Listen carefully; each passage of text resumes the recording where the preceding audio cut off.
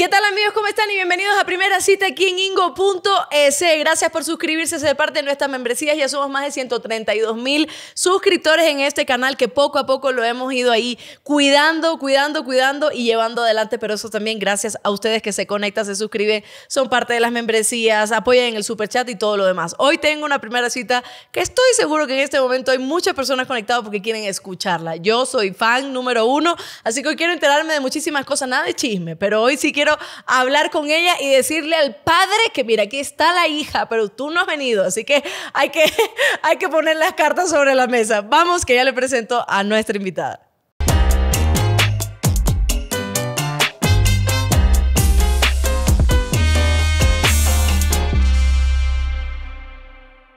Luciana Gushber aquí, la sensación de las redes sociales, has enamorado a medio Ecuador, en fin. Gracias, Lu, por estar aquí. Muchas gracias por invitarme, la verdad que qué chévere tener un espacio así, al fin conocernos después de tantos mensajes. ¿Te acuerdas cuando te dije, hola, soy Alondra, de ley no me conoces como José Delgado, entonces te conozco?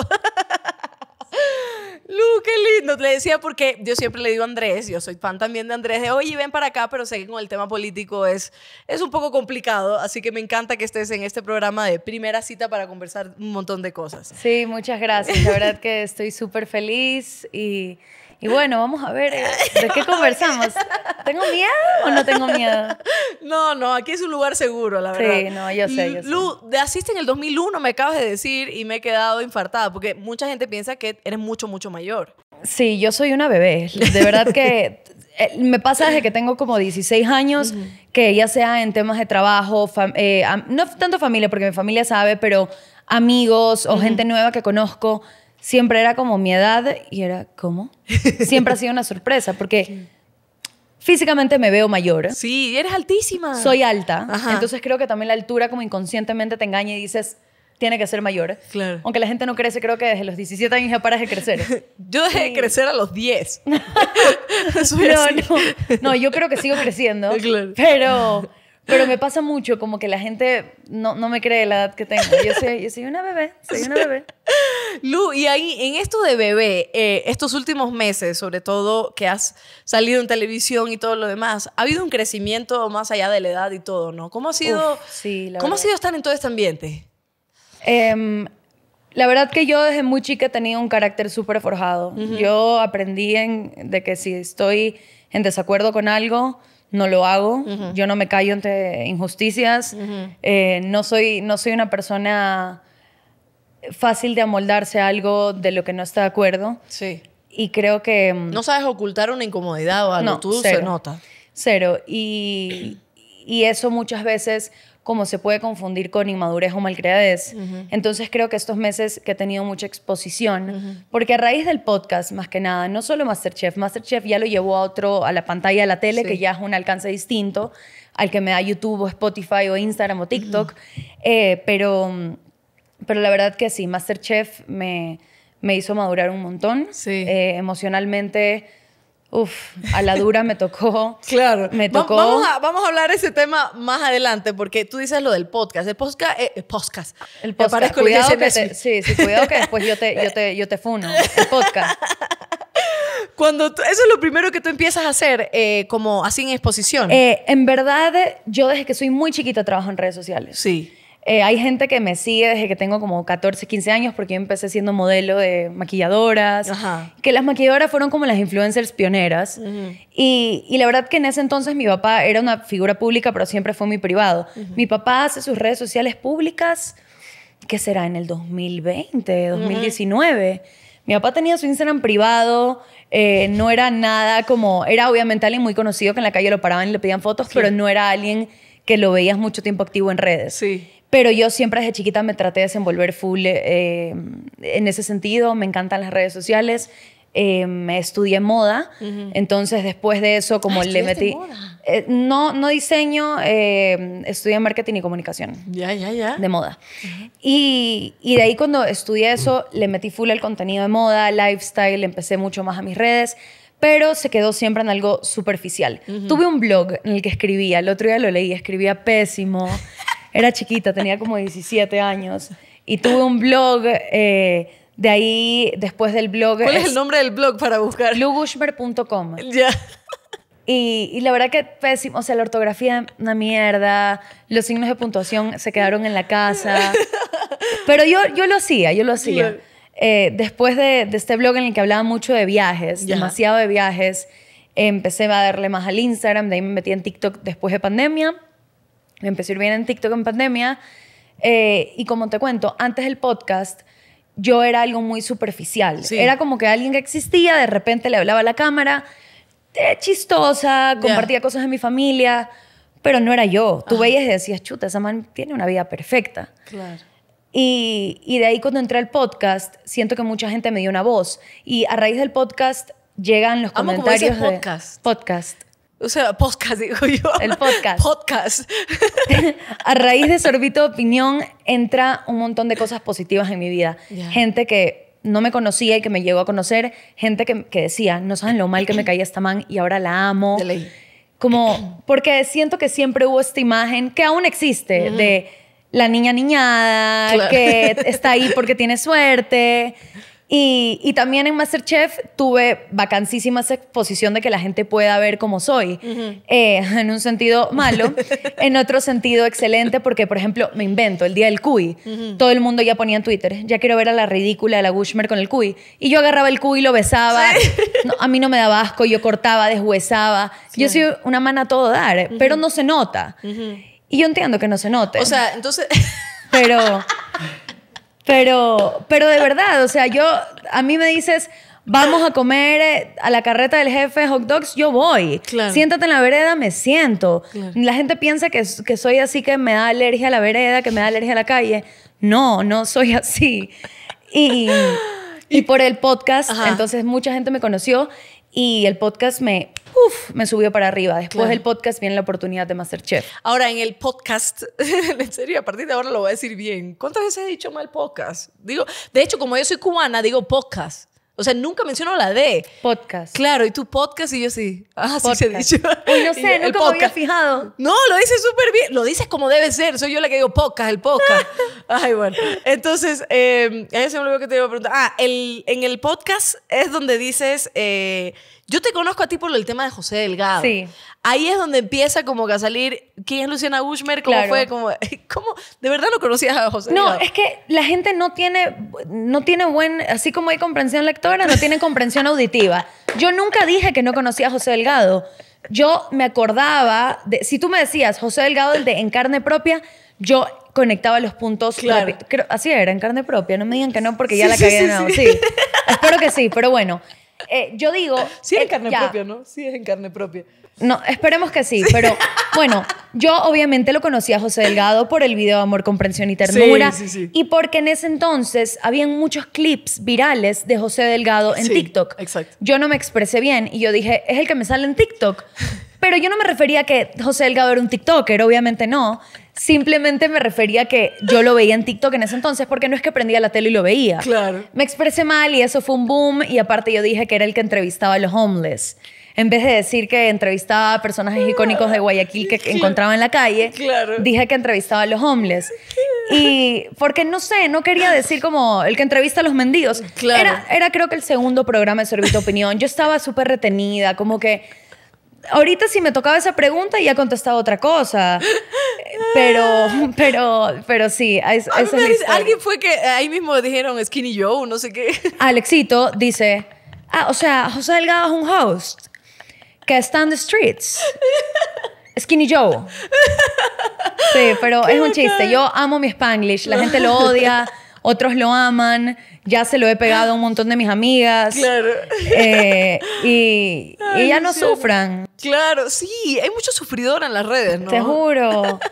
La y gente después no de es eso, feliz. ¿cómo, eh, ¿cómo es trabajar con, con Alex y Viviana, verdad? Viviana. Sí, el, podcast empieza con, G- con Vivi Ajá, y Alexito. sí. Y nosotros hicimos un montón de pilotos para ver quién va con quién. De hecho, los pilotos están en YouTube y los pueden Ya. ver. Las pruebas, hay una prueba mía con Gigi Caro, Gigi Adrián y yo. O sea, hicimos de todas las mezclas posibles. Y la fórmula que más funcionó Ajá. era como quedaron Si Somos y Sorbito. Ya. Suerte TV es un proyecto maravilloso. Sí. La verdad que yo estoy muy feliz. Amo Sorbito, amo Si Somos, amo mis compañeros. Eh, estoy feliz, Ya obviamente. ha crecido un montón. Sí, Sí. Y todos tenemos ganas de que el podcast siga creciendo, entonces Claro.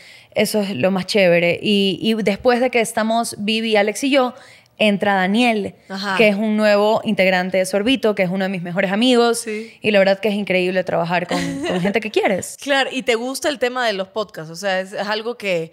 O, Sí, me encanta, me encantaría tener mi programa, ¿Sí? espero este año poder hacerlo. Ya ¿Programa enfocado, cómo? ¿Cómo sería? A ver. A mí me encantaría tener algo así como de tú a tú, así Ajá. como lo que tenemos ahorita, Sí. pero más chill. O sea, Sí. no sé si has visto uno que se llama Call Her Daddy. Mm, eh, que es una chica que está en un sofá preguntando. No, la Sí. que. Sí, ¿no? Sí. La que es una chica media rubia, que está en un sofá. Sí, ajá. y ella como que va entrevistando a gente que en ese momento tiene no un problema, pero siempre agarra gente. Por ejemplo, cuando pasó lo de José Delgado, ella me hubiera agarrado a mí. ya.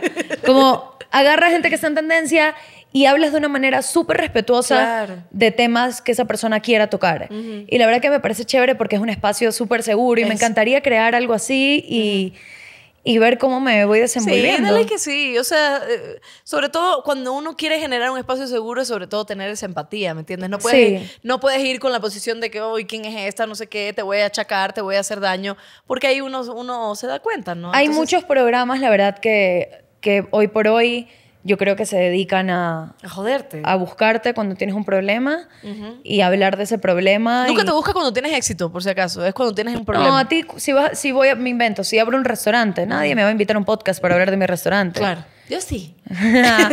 pero, pero, Claro. no sé, si le metí el pie a una viejita y, y me grabaron haciendo eso, me van a invitar a todos los programas. Claro.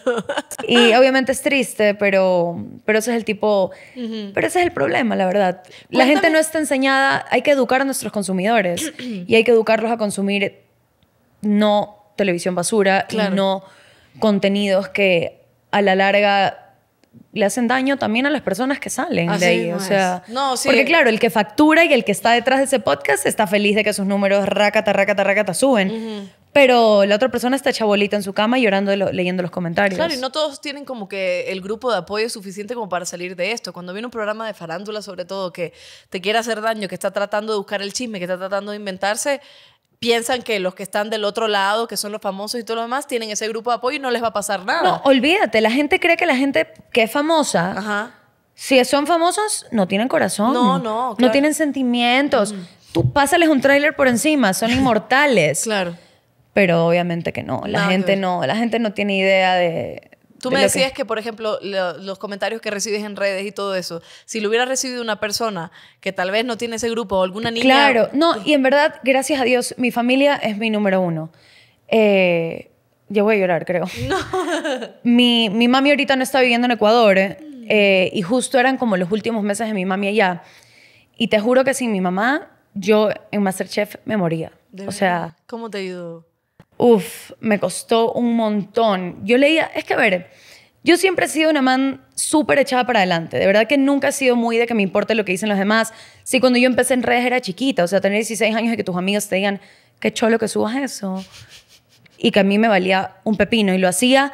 Obviamente eso año a año me fue como forjando mucho más Sí. esta personalidad de que mis objetivos están allá, yo no te voy a escuchar ni por aquí ni por allá y peor ver para atrás. Bien.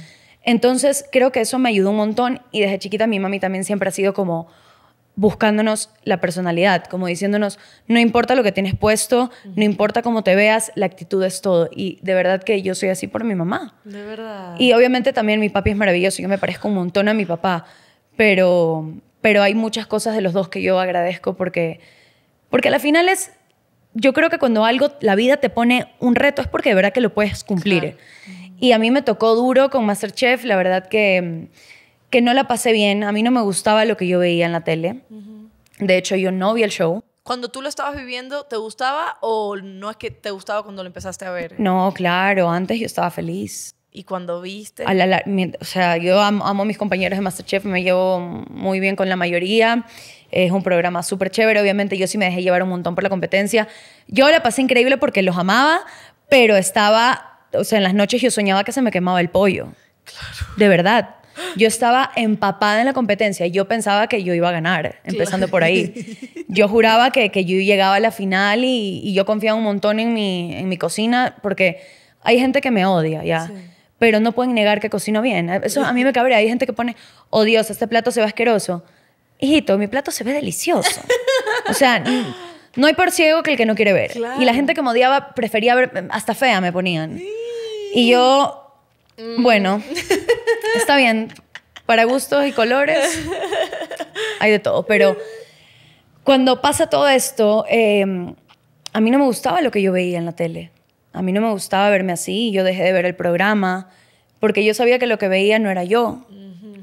Y por otro lado, ¿Pero no eras tú por edición o porque hay- salió una Bushmer que no...? a ver, no podemos negar que si hay entrevistas de 40 minutos y ponen 10 segundos, Claro. yo te puedo decir a ti ahorita, Alondra, la verdad que me encanta el cake que hiciste. ¿No te parece que está un poco insípido? Y solo pongan, ¿no te parece que está un poco insípido? Una mierda. Claro. Entonces, obviamente, eh, yo nunca pensé que iba a ser así. Yo no había visto Masterchef antes. O sea, de repente veía, eh, no me esperaba que sea tan Claro. problemático. Sí. Eh, me esperaba más cosas buenas, pero la verdad que me quedo con todo lo bueno. Ha sido viste- maravilloso. Cuando viste Masterchef y veías los comentarios en Twitter, sobre todo, y todo- todas las semanas, o sea, ¿cómo lo llevaste? Me dices que dejaste de ver incluso el programa. Eh, yo dejé de ver el programa, solamente lo veía cuando sabía que, que yo iba a ganar algo o que tenía el mejor plato. Entonces lo veía casi todos los días. No, mentira. No, pero lo veía, lo veía como adelantaba mis partes. eh, Twitter, la verdad que es una... Es como una sopa de gente infeliz.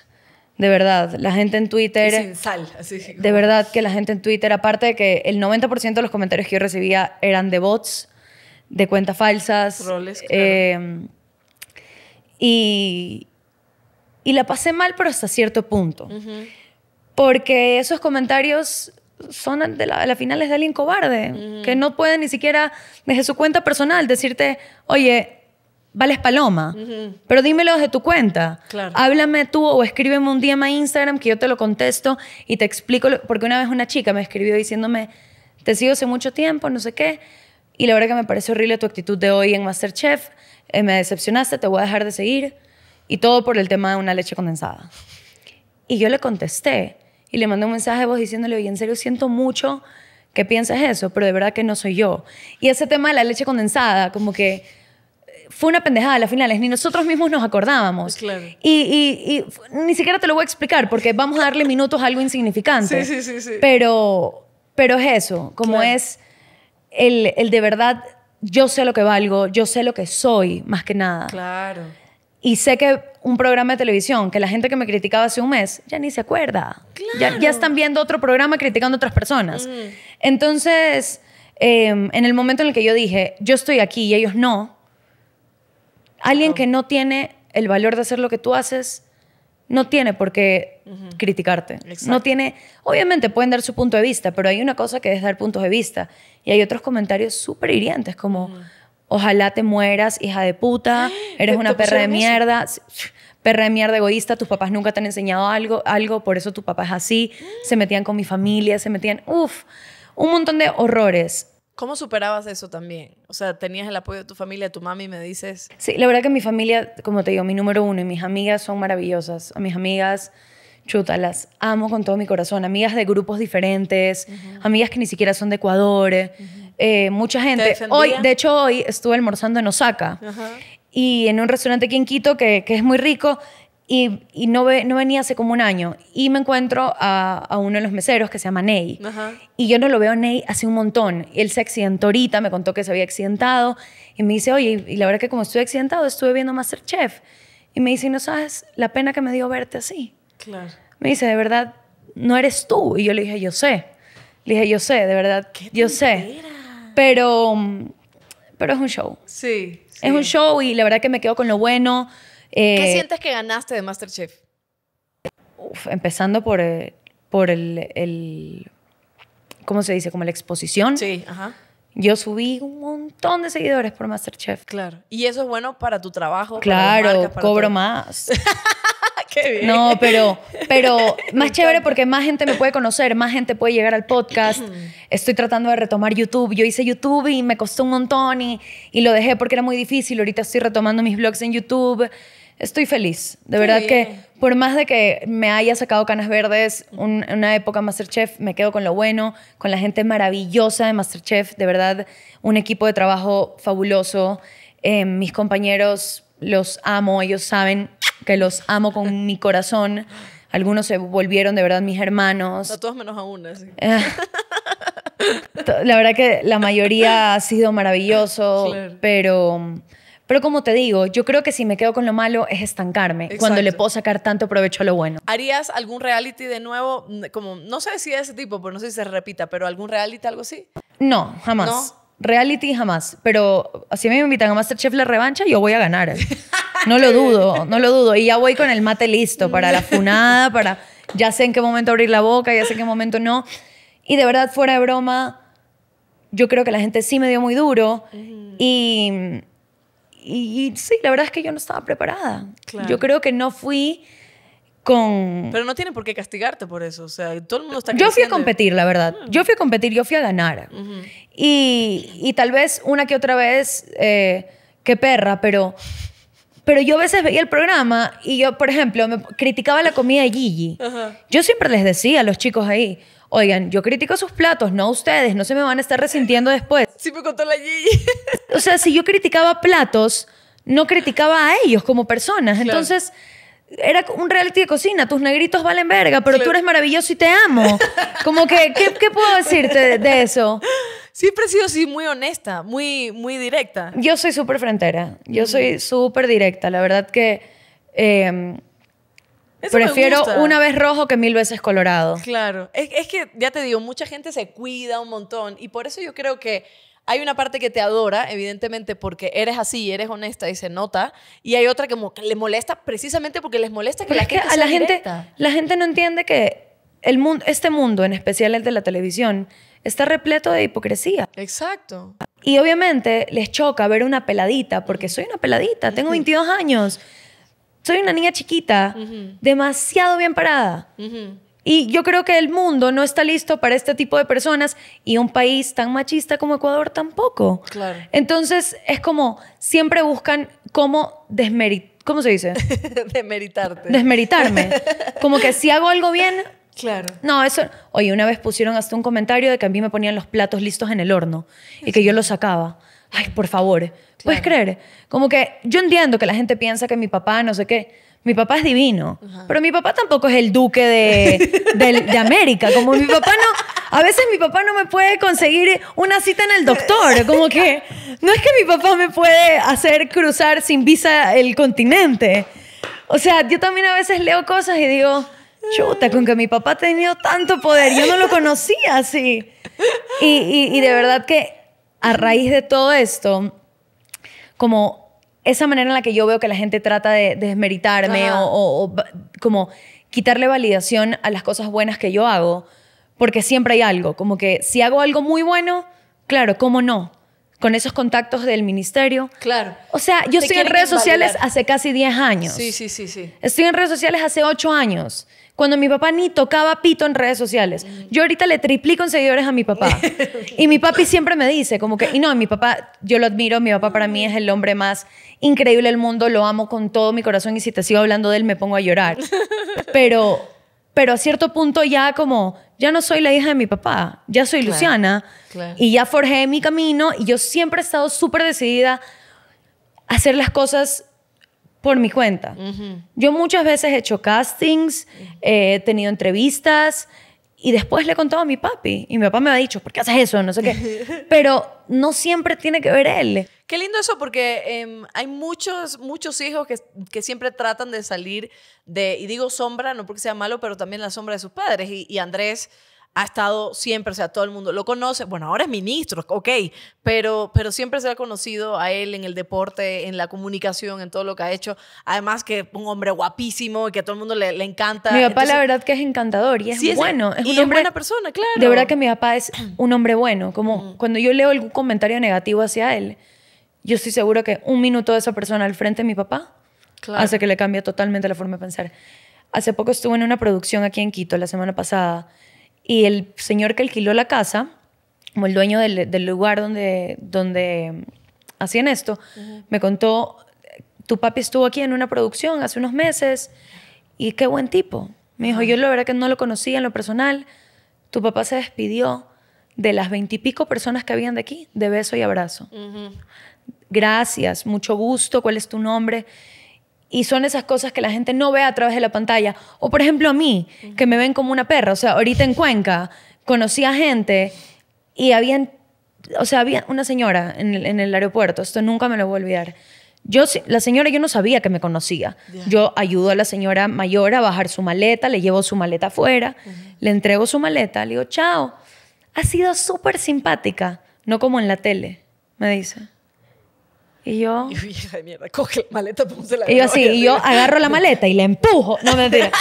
No, no, y yo así la veo y Y le digo, Luciana empuja a una viejita. así. Sí, sí, de ahí salió la historia. Y yo me miro así y yo, ¿y usted impertinente? Gracias. Chao. Le dijiste. O sea, es que yo no. Sí, son estas cosas que yo digo. pasan. ¿Cómo alguien se puede quedar con lo que ve en la tele? Como ya, está bien. Sí, tuve muchos errores. Yo sí estoy segura que tuve que haber hablado de más. Sí. Tuve que haber dicho cosas que no tuve que haber dicho. Mm, Le tuve que haber bajado un montón a ese ego de cocinera que tenía porque yo me creía la mejor. Claro. Era la mejor. No, a ver, no, ya, ya, a ver, ya, a ver. Si vamos a hablar la verdad, yo sí cocinaba bien. Claro. Muchos cocinaban Tú delicioso. cocinabas desde antes ya de. Yo cocinaba desde antes. Yo la cocina lo tengo en las venas. Mi abuelo, el papá de mi papi. Mi papá y mi mamá no cocinan nada. Pero mi abu, que falleció hace como seis años, mi abuelo Marcelo, argentino, maravilloso, cocinaba como los dioses. Ya, claro. Y yo desde chiquita lo vi mucho a mi abuelo y siempre me ha fascinado la cocina. Toda la vida me ha encantado. Y, mm, y, y claro, Se como quedan con eso de la tele nomás. yo tenía este ego de cocinera de que me creía la mejor, pero no es que me creía la mejor. Ajá. Estabas haciendo bien. Lo estaba haciendo bien, pero también la gente no ve que hay mucha manipulación, como el show te exige presión. Claro. Entonces estás presionado, tienes como esta presión no solo social, como que porque quieres quedar bien obviamente con la tele y demostrar, porque yo quería demostrarle a la gente, porque el primer comentario era, ¿qué chucha va a ser esa peladita?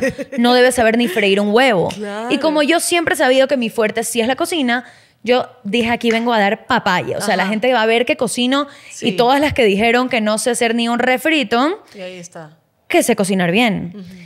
y, y entonces yo también me exigía un montón por eso. Viendo el programa también me, me autoanalizaba y decía, puta, pude haber dicho eso mejor. Pero es una cuestión de aprendizaje, Lu. o Sí, sea. exactamente. Entonces... No, sí, la ya gente es- sé- ya tú eres eso. Es Ya que no hay más. claro, nadie sabe la presión con la que yo vivía ahí adentro. No saben que dormía cuatro horas porque estudiaba. Apenas salíamos de, de grabar, me iba a comer libros y videos de YouTube porque no teníamos dónde practicar. De ahí me metí ya a unas clases con un profesor. Como que nadie sabe de verdad qué es lo que hay detrás. Piensan que somos robots que nos prendían a entrar al estudio y nos apagaban al salir. Claro. La verdad que yo no le estaba pasando muy bien como para decirte estaba en mi 100% y Sí. estaba con mis cinco sentidos prendidos. Entonces sí hay mucha autocrítica cuando yo veo el programa, por eso dejo de ver el show, Ajá. porque sí digo, "Ugh, chuta, pude haber dicho eso de otra manera. ¿Por qué hablé así? Claro. ¿Por qué hice esa cara? ¿Por qué? Si hay un Masterchef La Revancha, o sea, ya sabes que harías las cosas de manera diferente. Claro, yo más- voy y antes de cada programa me meto una pastillita tranquilizadora, porque si no voy como una fiera, que es lo que me pasó allá. Yo, la verdad que yo soy muy auténtica. Yo no soy de poses, yo no soy de... Sí te veo. Yo no soy de hacerme eh, la, la, la fiu fiu ni, ni, ni la, ay, no voy a decir eso. Yo, la- o sea, la gente, no hay huevo que les calce. El otro día alguien pone, aniñada y todo, pero no, no se pasa, no para de decir malas palabras. O sea, ¡Y! o sea, está mal ser aniñada y Claro. también está mal decir malas palabras.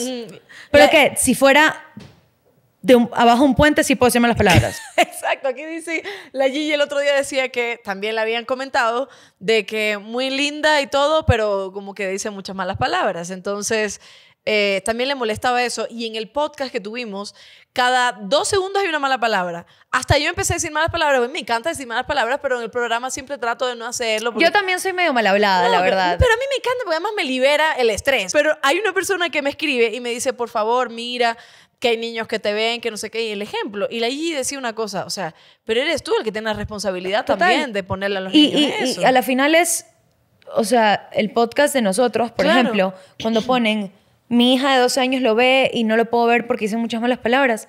Nosotros en el podcast hablamos de sexo, hablamos de alcohol, Hablemos de cosas, a la final es mucho en tono de humor, no como de las drogas, el sexo, nada que ver. No, claro. Pero, pero tampoco es un espacio para niños. Y estás poniendo sobre la mesa temas que normalmente no se tocan, que no suelen tocarse, y que hay una persona que probablemente le gusta ver ese tema, lo entienda y aprenda incluso de ahí que no aprenden en Claro, otro y a la final es, nuestro podcast es algo muy amigable. Es algo que tú te sientes y es como que estás escuchando los guasos de tus amigos. claro. Entonces, yo no, yo no, por ejemplo, yo a veces que tengo a mi hermana Victoria en el medio de Miranda, Doménica, Daniel, y el otro día me cuentan que, que había dicho ella, los amigos de Lu dicen muchas malas palabras. Y a mí como que me dijeron eso. Yeah. Y, yo le, y yo le dije a ella, le dije, bueno, nena, entonces no vuelvas a entrar a mi cuarto cuando están mis amigos. ¿Y, qué, Y me dice, yo no voy a repetir nada. Y yo sí. es hermosa. Es una, es una diabla. La amo, la amo. Esa es mi, mi chiquita, mi yo. Somos dos gotas de agua. La veo y es como verme a mí. Claro. Y, y me contesta con cosas que yo le contestaba a mis papás cuando era chiquita. Entonces es como, muchachita de mierda. El otro día me viró los ojos. Y yo le dije, no me vires los ojos. Y me hace así. Yo hablo así. Y te lo juro, Alondra, que yo le decía eso a mi mamá. Yo hablo así. Decía, mamá, yo hablo así. Y yo la vi y le dije, no te voy a decir nada porque eres igualita a mí. Igualita, qué linda. Yo, de hecho, creo que empecé a seguir a toda la familia porque yo la, la adoro. ¿Y qué edad tiene ahora? Vicky ya tiene seis. Seis añitos, claro, pero desde chiquita siempre ha sido así. El pelóname, la lagartija, Sí, un todo. montón de videos virales. Lindísima. Sí. Y además con su cabello churrudito y no sé qué. Yo me acuerdo que una vez estábamos en Galápagos y ahí veía a tu papá y la vi a ella. Y, y además la familia es gigante también. ¿Cuántos hermanos son? Nosotros somos de parte de mamá y papá tres. Tres. Somos tres Gushmer Coca, yo soy la mayor. Ya. De ahí viene Lucas, yo soy 2001, Lucas es 2003 y Alina es 2004. Ya. Esos tres somos de mamá y papá. Ya. Después mis papis se divorcian Sí. y cada uno rehace su vida con mis padrastros, que los amo con mi vida, son como mis segundos papás. Valeria, mi madrastra, y Francisco, mi padrastro. Ya. Valeria ya tenía un hijo, que es Mati, Claro. que tiene 20 años. O sea, Mati es 2002, si no me equivoco. ¿Ya? O 2003. Sí. No, es 2002, porque Lucas es 2003. ¿Ya? Entonces yo soy 2001, Mati 2002, Lucas 2003, Alina 2004 y Alexa también es 2004, que es la hija de mi padrastro. Ok. Entonces yo tengo tres hermanos, ahí van tres hermanos y dos hermanastros. Sí. Ahí vamos cinco. Y de ahí mi papi tuvo a Vic, que tiene seis años. Y mi mami tuvo a Melita, que tiene cinco. Ya. Y tuvieron a Siena, que tiene, cumplió un año la semana pasada. Somos ocho. Pero Siena, ¿de quién es? De mi papi Vale. Claro. Es la segunda, la hermana de Vic. La Ajá, hermana de sí, mamá y papá de Vic. La última, última. La claro. última, última, yo, claro. Yo sí porque yo, yo sigo a la familia Gush. Qué bacán. ¿Y todos se llevan muy bien? Todos nos llevamos increíble. La verdad que eh, mis hermanastros son maravillosos, son mis hermanos. Yo los amo con todo mi corazón. O sea, todos. Para mí todos, Sí. los ocho somos uno solo. Eh, a mi hermanastra Alexa y a mi hermano Matías y a mi hermanastro Matías, eh, los amo, los aconsejo como si fueran mis hermanos. Claro. Claramente no es igual que con Lucas y Alina, con ellos crecí. Pero ellos son como los hermanos que me regaló la vida y que se me presentaron en un momento no tarde, porque llegaron en el momento indicado, porque igual éramos unos bebés, yo tenía 13 años. Claro, claro. Casi hace 10 años. Qué lindo. Y, y, y ha sido un, mar- maravilloso, la verdad. A su manera, imperfectamente, mi familia es perfecta. y, y claro, el otro día alguien comentaba, yo subí un video con Siena y ponían, este es el, este es el hijo como de la quinta mujer. Mi papá es el hombre menos mujeriego del mundo. Ha tenido dos esposas y ya, o sea, obviamente no es lo, no es lo ideal, Ok. pero... Pero. ¿qué, qué, qué chucha? O sea, Ya dejen de meterse en la vida de la gente, por Dios, no me ya. importa. ¿Qué te dijo tu papá en el momento que dijiste voy a Masterchef? Mi papi me dijo que no, la verdad. Eh, mi papi me dijo mil veces, piénsatelo bien. Piénsatelo bien, piénsatelo bien. Y a mi papá no le gustó verme pasarla mal. Eh, más que nada, mi papi es una persona que toda la vida ha tenido una imagen súper limpia. Mi papá nunca ha estado metido en problemas, nunca, nunca le ha pasado nada malo, nunca, nunca creo que lo han puesto en un canal de farándula. y, y yo en un año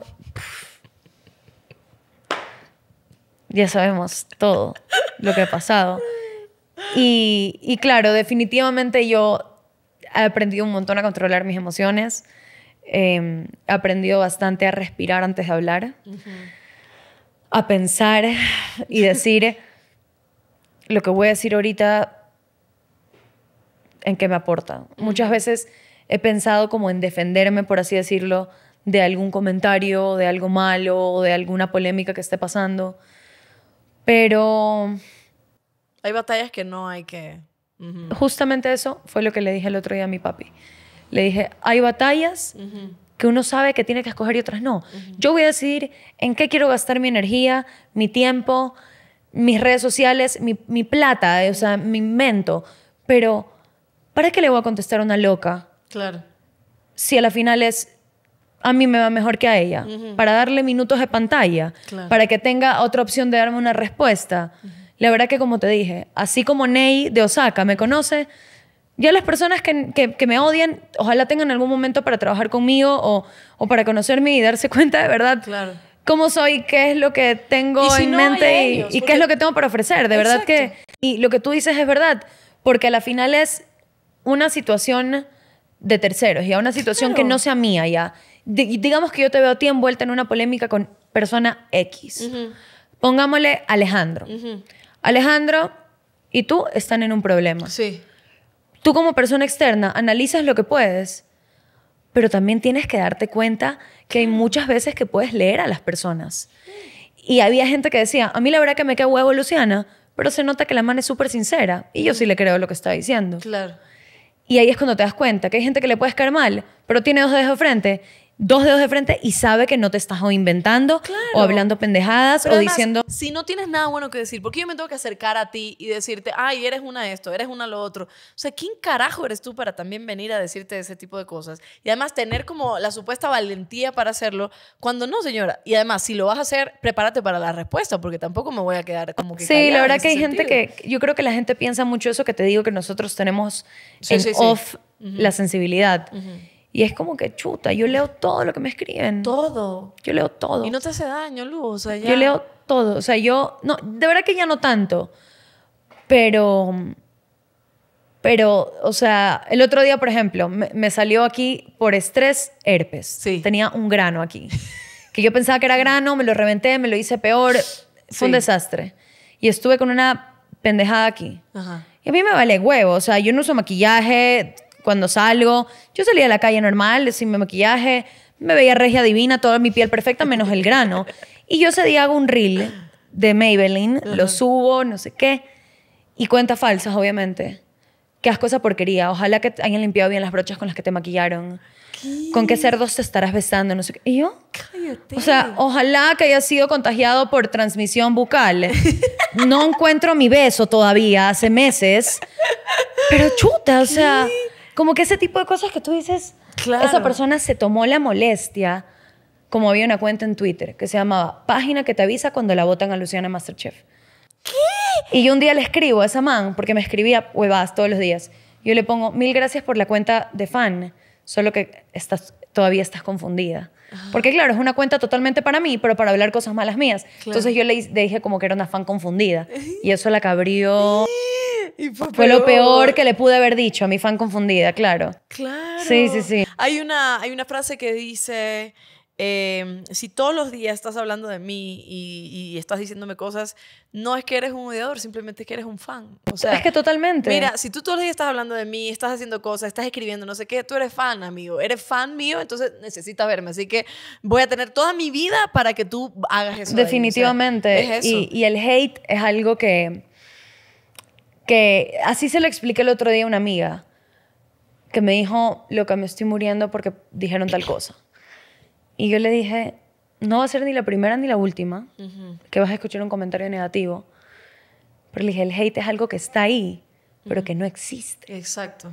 Porque el hate no es el vaso, esto no es el hate, no es que te lo doy y te quedas con el hate pegado. Tú decides de qué manera vas a dejar que eso entre en ti, si vas a dejar que eso afecte en tu energía, si vas a dejar que eso afecte en ti como persona. Porque yo puedo leer flacuchenta desnalgada, ojos de vaca, lo que sea. ¿Tú crees que yo creo eso? Claro. No, mi ciela, claro que no creo eso. Pero hay gente que de verdad sí lo lee. Es horrible. Y le duele. Y, y de verdad que a la gente que está detrás de la pantalla y escribe tantas cosas horribles, tú nunca sabes por lo que está pasando la persona. Yo tuve días súper duros. Yo tuve días de verdad en los que estaba muy triste, que no me gustaba escucharme, que no me gustaba pensar en, ¿será que así soy yo? Ah, claro. Yo en un momento sí me cuestioné y dije, mierda, ¿será que así soy yo? Así es como se ve la gente cuando trabaja bajo presión. ¿Será que soy una mierda? O sea, si el resto de mi vida voy a tener retos y voy a vivir bajo presión, voy a ser una basura. Como... Pero me duró poco y dije no. Dije no. La verdad que yo no soy así. Soy una man que ojalá que la gente me pueda conocer. Yo siempre digo eso, chuta. Ojalá me puedan conocer, te juro, Alondra. Yo soy súper trabajadora. Sí. Me encanta el trabajo. A mí no hay nada que me guste más que estar ocupada. A mí me encanta agotarme. Yo me la paso, últimamente me la he pasado enferma, pero de tanto agotamiento. Claro. Y es como que es un poco loco. La verdad que creo que es un problema y me estoy dando cuenta que debería trabajarlo en terapia. Pero, pero me encanta, para mí es satisfacción estar con migraña, no poder moverme de la cama y decir, estoy totalmente exhausta.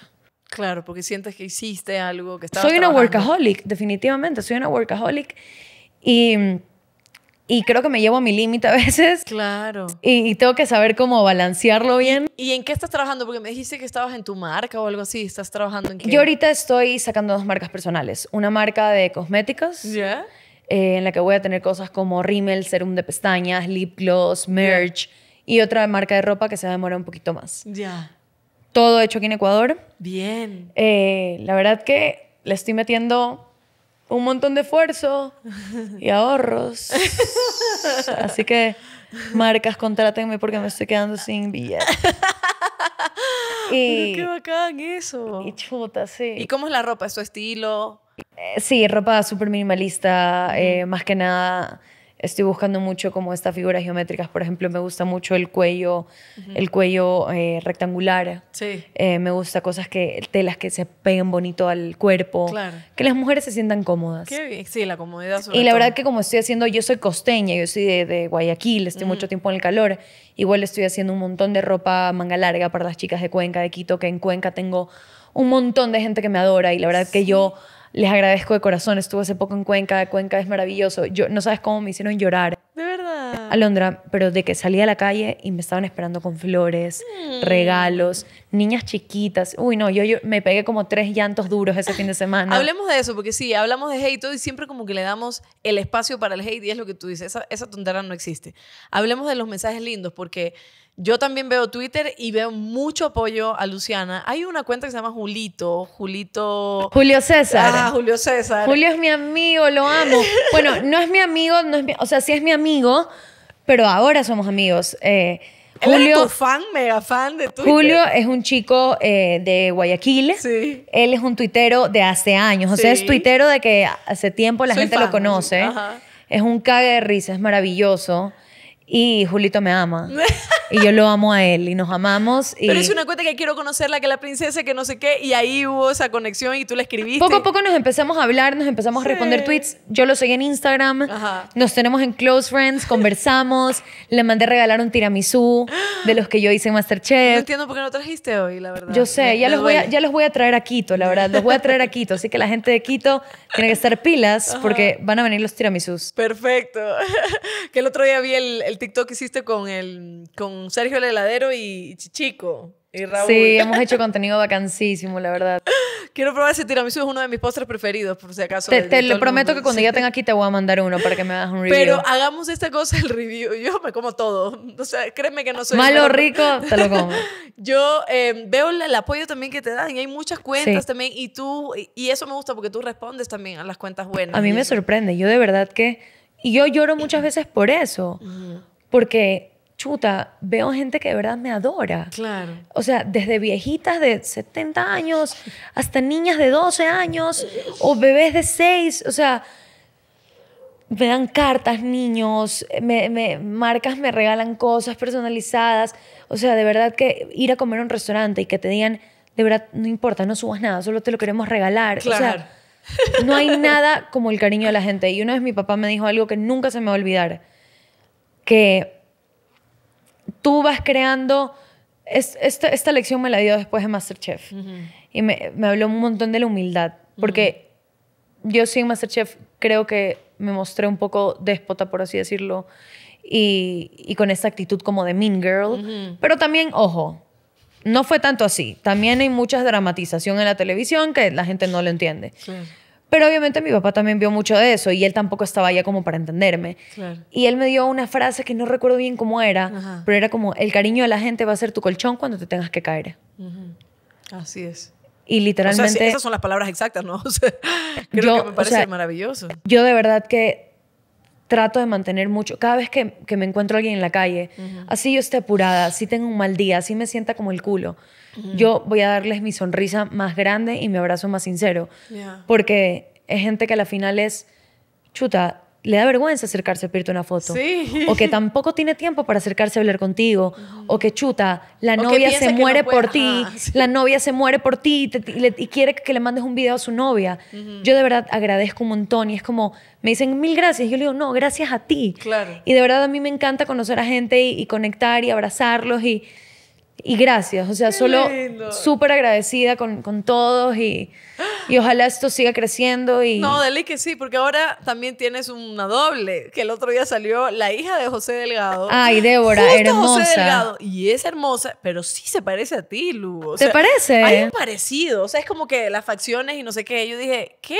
¿Qué pasó aquí? Y de repente sacan tu foto le día y todo el mundo enamorado de las dos, ¿no? Sí, Débora la verdad que es, es bellísima. ¿La conoces en persona? No nos conocemos en persona, pero nos hemos mensajeado por ahí. ¿De verdad? Sí, y nos reímos un montón de todo lo que está pasando. Eh, la gente, la verdad que yo sí digo, están obsesionados conmigo, porque yo no tenía nada que ver con eso y de la nada salió. un día me meto a Twitter, fe hijo de puta, y yo, ¿qué? tengo que ver yo? Sí, que ya, tú- ya, tú ya no eres, ahora es Débora. Así, y es como, Débora es hermosa, es hermosa, definitivamente es maravillosa. Pero ¿por qué no podemos ser las dos lindas? Como que llegó ella y, y ahora yo soy fea, Sí, definitivamente.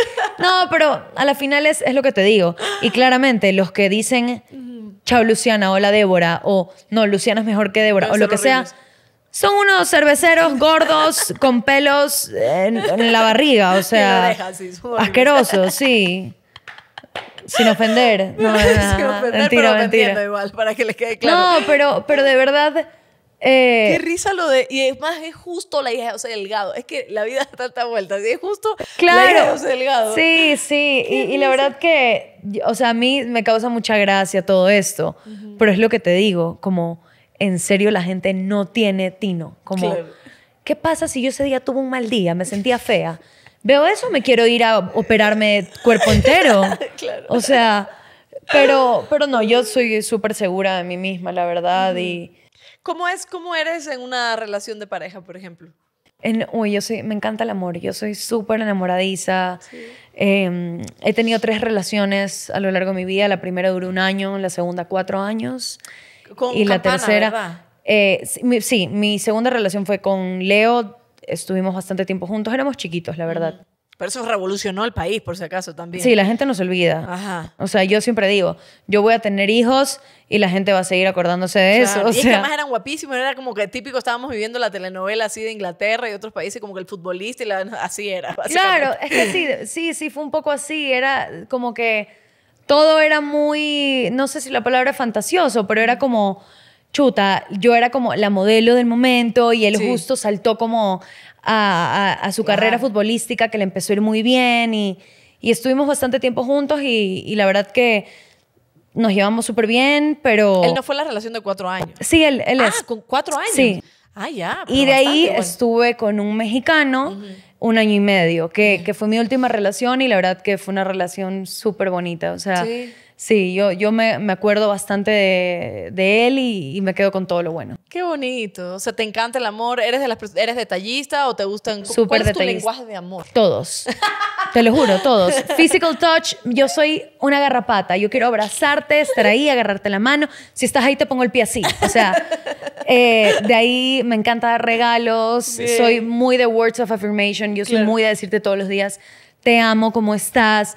A mí, la verdad que creo que por algo he tenido relaciones largas, ¡Qué porque las sé cuidar bastante. Mi primera relación tenía como 15.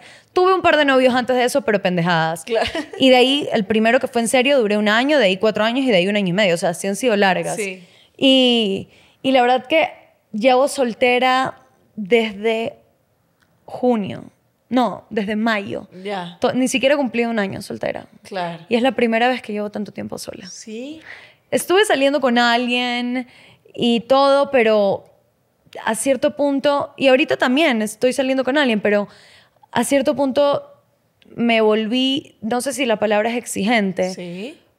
Sí, creo que sí es exigente. Claro. Porque ya mi vida tiene prioridades muy claras, como la del trabajo.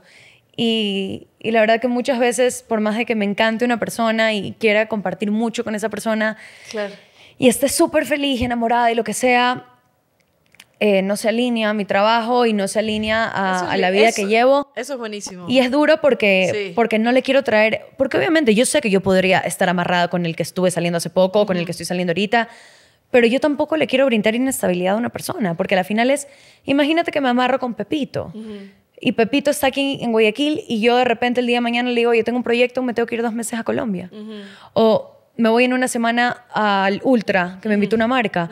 O me voy dos semanas a, a la a hacer una, una huevada de la Fórmula 1 con Heineken. A una persona no le puedes crear algo así. Porque sobre todo si no está en el mismo ambiente o algo pero así. claro, que- definitivamente, si me consigo un multimillonario que, que me diga, vámonos en mi jet privado, no te preocupes, vámonos en tu jet privado. Pero yo tampoco quiero traerle a nadie Claro. este tipo de inestabilidad Ajá. a su vida, porque al Sí. final son personas que también están tratando de formar un trabajo, formar una familia, formar una vida estable. Y yo sé que por ahora no soy una persona ni con horarios estables, ni con un trabajo estable, Claro. ni con una vida que de verdad vaya en línea recta. A ver, es duro, pero cuando te digo que es hermoso es porque cuando tú te das cuenta, y sobre todo como mujer, que te das cuenta de que tienes prioridades, que van cambiando por si acaso, que tienes prioridades, eso es maravilloso, porque en este momento es, no voy a tener una relación por tener una relación. Voy a- Exactamente. cuando quiera tener una relación es porque estoy segura, porque esto, porque lo otro, porque mi Claro, tiempo. y mi yo, y mi yo del pasado, probablemente con lo enamorada y feliz que he estado últimamente con las personas que he conocido, al mes y medio le hubiera dicho te amo, por favor, y estemos juntos. Mi yo de hace... Sí. Y ahorita, y hoy justo mi ñaño, Lucas, me dijo, ¿te estás dando cuenta que le ves un pero a todo? Y le dije, sí, bebé, pero no es porque no me gusta y no porque no los quiera. Sino que estás eligiendo, te estás eligiendo a ti primero. y porque no le quiero hacer daño a una persona. ¿Qué pasa si, qué pasa si sí estoy con una persona y el día de mañana, chuta, me tengo que ir a otro lado? Me sale algo como lo de Masterchef, que fueron dos meses y medio en Bogotá. Yo no le puedo hacer eso a un chico de veintipico años que está trabajando y sacándose la madre. Ni tampoco puedes estar decidiendo si él o el trabajo, porque eso también es tormentoso. Es como que si la- el sí. esto o yo. Y lo como- hice, y la verdad que lo hice un montón. Yo eso lo hice un montón. Yo me ponía a mí en segundo lugar en mi última relación, que fue una relación que yo la dejé con mucho dolor, porque yo la verdad que no quería terminar con esa persona. Pero eran muchas cosas. Él vivía en Londres, yo me la pasaba yendo allá. Yo me pago todo desde que tengo 18 años. La gente piensa que soy una mantenida. Ojalá, ojalá sigan pensándolo para que se manifieste y me llegue una mensualidad de mi papá, de mi mamá, de, de mi ex, de mi nuevo, de lo que sea. Del millonario. Sí, de un millonario, de un viejo de, que esté en Turquía, que me haya visto en el Mundial de Qatar eh, y que haya dicho quiero apostar todos mis camellos para allá. Ojalá, o sea, quisiera. Pero entonces, puta, imagínate, yo tenía 20, 21 años y casi toda mi plata se me iban mil dólares en pasajes para En ir a viaje, verlo. claro. Que obviamente yo llegaba allá y no es que tenía que pagar hotel ni nada, me pagaba todo, restaurantes, no sé qué.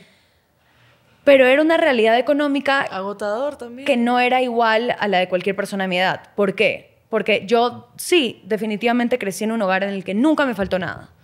Yo estoy muy agradecida porque crecí en una familia increíble, pero yo no es que la gente dice que yo nací en una mansión y yo nací, El duque de América. nací, eh, mis papás metieron la pata conmigo.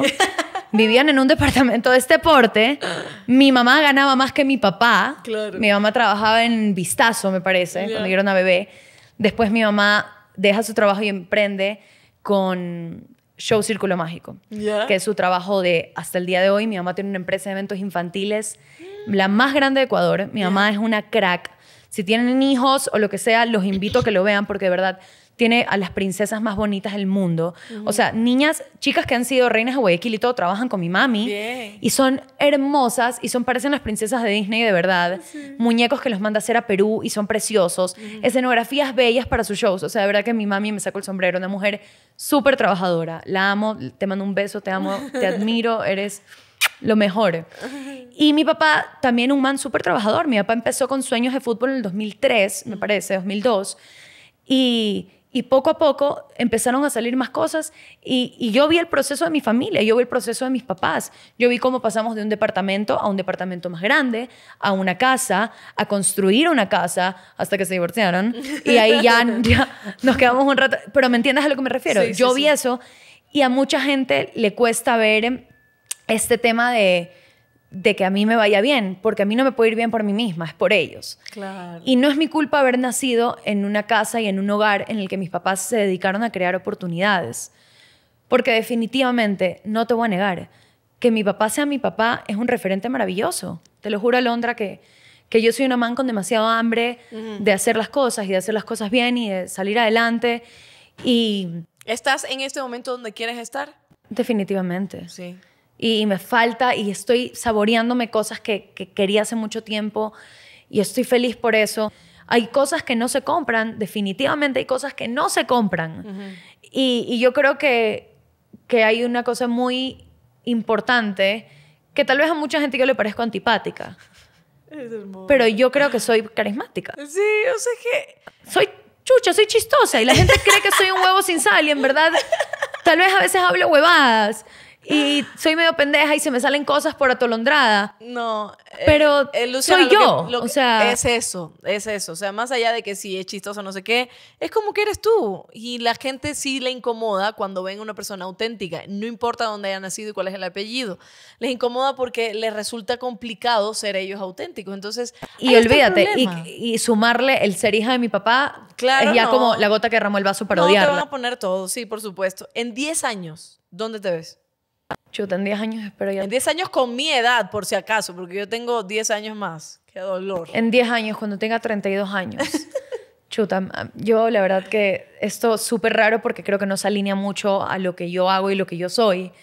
A mí me encanta el trabajo, me encanta vivir, me encanta viajar, pero mi sueño es ser mamá. De verdad. Sí. Pero ah, tienes 22, o sea, en este momento lo estás pensando. ¿sí? No, tú me dijiste en 10 años. Sí, sí, yo te digo, pero te digo, lo piensas desde ahora, o sea, en un futuro sí te gustaría ser mamá. A mí me encantaría ser mamá y ser mamá joven, por así decirlo. No tan joven como mis papás. Mis papás me O sea, mi mamá a mi edad, exactamente donde yo estoy ahorita, estaba piponcísima y en Ya. un mes daba luz. Ya, ok. Mi mami y yo, mi mami, yo soy 24 de abril y mi mami es 6 de mayo. No, mi mamá es 25 de mayo. Ya. Entonces, un mesecito después de que yo nací, mi mami cumplió 23 o 24, no estoy segura. Ya.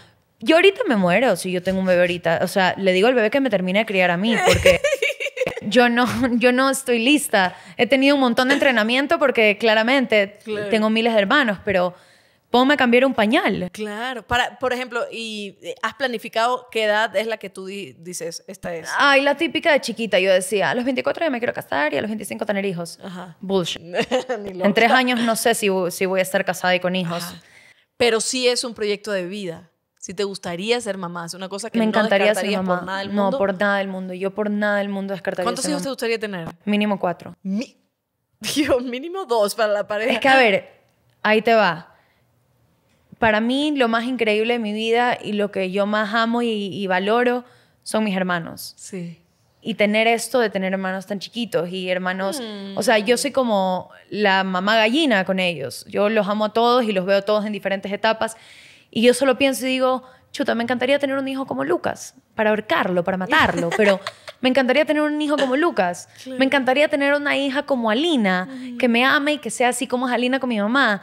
Y me encantaría tener una hija como yo, que se muera por mi esposo y que ame así como yo amo a mi papá. Sí. Y solamente veo a todos y, y es como que yo Ay, quiero eso, yo quiero eso. Y la verdad que desde chiquita siempre he sido súper de casarme y tener hijos. Y es raro porque es lo que te digo, soy tan libre y vivo tanto y quiero viajar y quiero recorrer el mundo, que es como que, No, pero se puede hacer con los cuatro muchachos también, ¿no? O sea, claro, ahí sí, ahí sí me tengo que ir a buscar a, a Qatar, ¿eh? a Qatar a alguien que me dé 70 camellos para poder viajar por todo el mundo. Por si acaso, si hay alguno por ahí que ve la entrevista, que hay una opción. Ay, Luciana, qué bonito. Qué, qué lindo conocerte, porque siempre pensamos que hay un personaje detrás y todo, pero como que viéndote aquí estuvo la G y hablaba maravillas también de ti. Y, y lo que me dijiste que quieres estar también en el gabinete, las voy a traer a las dos para hablar y Prepárate, nos vamos a... Te ahogas de la risa. Sí, dice. sí, sí, yo sé. Y Pero nos todo- censuran. Yo creo que nos meten presas. vamos a hacer la comidilla de toda la prensa rosa en ese momento, pero, pero qué lindo, qué lindo conocerte y sobre todo ver que hay cosas que si dices, quiero aprender, no quiero repetirlas, pero sin embargo, sin perder tu esencia, que es lo importante, que nada, que nada te haga perder esa esencia, porque al final eso es lo que eres y mucha gente lo valora, ¿no? Sí, eh, yo, yo de verdad que creo mucho en mí. Y yo creo que eso es algo importante, no perder como ese, ese, no, ese hambre, literal, ese hambre de decir, tú puedes hacerlo y yo lo puedo hacer sin ayuda de nadie. Como a eso me refiero, como a, este, a esta sensación de, de que yo puedo cumplir mis metas y que si yo me propongo algo voy a llegar. y, y, y, como te dije, o sea, me encantaría que la gente me conozca más de esa manera y, y vean más que lo que hago tiene un valor mío, de verdad mío. Como muchas veces yo lanzo proyectos que no es por, por temas de, de, que no le interesa mi vida a mi papá, pero, por ejemplo, el otro día le enseñé un proyecto que tengo súper desarrollado. Y me dijo, chuta, qué chévere, no sé qué, bla, Yo cambiaría esto, esto y esto. Y le dije, no, tú no sabes nada de esto, por eso no opines. Pero es como que, si yo lanzo eso, lo primero es, claro, el papá le pagó todo. Y es como que, sí. obviamente, yo creo que los comentarios que más me duelen son esos. A mí me da igual que me hablen de mi físico, de, de cómo hablo, de mis ojos, de, me da igual. A mí los comentarios que de verdad me lastiman son esos porque yo, o sea, imagínate yo agotada con migraña y un suero deshidratada leyendo que todo lo que he hecho el fin de semana que me saqué la puta, ah, sí, igual, igual es una, igual es la hija del ministro. Es como que... Sí me doy cuenta que eso te, te, te jode un montón, claro. Y a, la, y a, la, larga lo que te digo, mi papi es tan maravilloso que me encanta que ese sea mi referente. Como que, ¿sabes qué? Ya, aunque sea un comentario negativo, lo tiene todo gracias a su papá. Sí, gracias a Dios mi papá se sacó la madre para ser el hombre maravilloso y exitoso que es hoy en día. Y tal vez sí, una marca puede confiar más rápido en mí que en Pepito, porque trabajaron antes con mi papá. Claro. Pero eso no le quita valor a nada. Es el esfuerzo que él hizo que se está como traspasando para mí. Que a la larga yo creo que eso es lo que todos los padres quieren para sus hijos. Crear oportunidades para que ellos no tengan todo más fácil, pero tengan todo de una manera mucho más, no amplia, pero que hay apoyo, que Sí, exacto. Y no tiene nada de malo, solamente que hay mucha gente que desgraciadamente su familia no ha estado ahí y por eso les lastimo, les duele. Y tienen simplemente odio. O sea, son cosas que tienen que sanar cada uno, pero mi consejo, y, que tú lo has visto también en redes por toda la, maldad de eso, que ahora recién aprendí, después de mucho tiempo, es no hagas caso de esta gente. Nunca. No hagas caso de esto. O sea, y de lo de tu papá, sí, ya, váyanse al carajo. O sea, es una cuestión que tú estás haciendo lo tuyo. Y la luz también molesta, ¿me entiendes? Porque hay gente que está tan en la sombra que tu luz no les llega y lo único que quieren hacer es como que... Si has visto ¿Cómo, es esa frase, ¿Cómo es esa frase? Si los perros ladran... Es porque estamos avanzando. Así es. ya, bueno, literal... Cuando yo, cuando siento mis redes muy tranquilas, digo, uy, a alguien, a alguien están haciendo mierda, empezando por ahí. A alguien están haciendo Ah, no me tocó a mí hoy. sí, claro, claro.